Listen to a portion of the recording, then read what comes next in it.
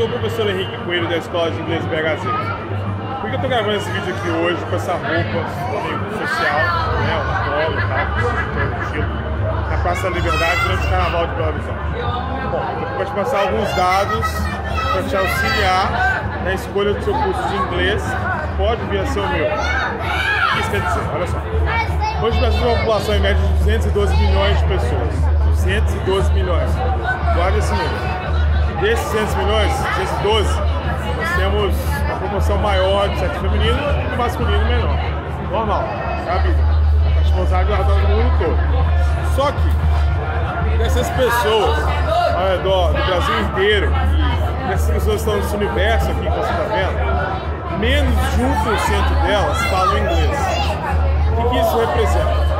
Less than 1% of all these guys in this class, class where the square and everything speak English. Ou seja, 1% das pessoas aqui nesse local agora conseguem se comunicar de maneira exata e precisa e proeficiente em língua inglesa. Isso é perigoso. Por quê? Além da pessoa não conseguir comunicar em língua inglesa, que é um lado muito alto, você tem também o lado da língua portuguesa. Esse cara que está aqui do meu lado, ou do seu lado aí no carnaval agora, não sabe se expressar em português ou em inglês. Ele vai falar o tempo todo no linguajar que não é norma culta ou norma coloquial. Simplesmente falando, ele não consegue conjugar passado, presente e futuro. Ou seja, ele não fala nenhum dos tempos, ele se comunica num dialeto. Além de eu ter essa dificuldade do dialeto português, eu estou transportando esse dialeto para o inglês. Pega a visão. Ninguém aqui nesse local inteiro que você está vendo, nesse carnaval, completíssimo, can understand something that I'm just speaking to you right now. This is dangerous. Isso é perigoso.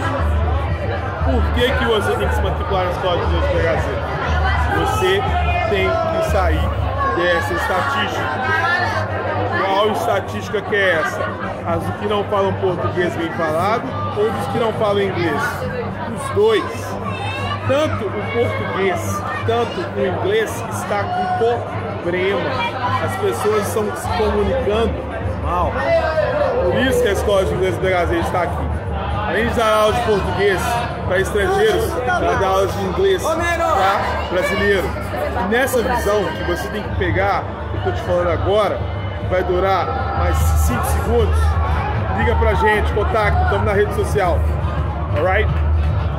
Booyah!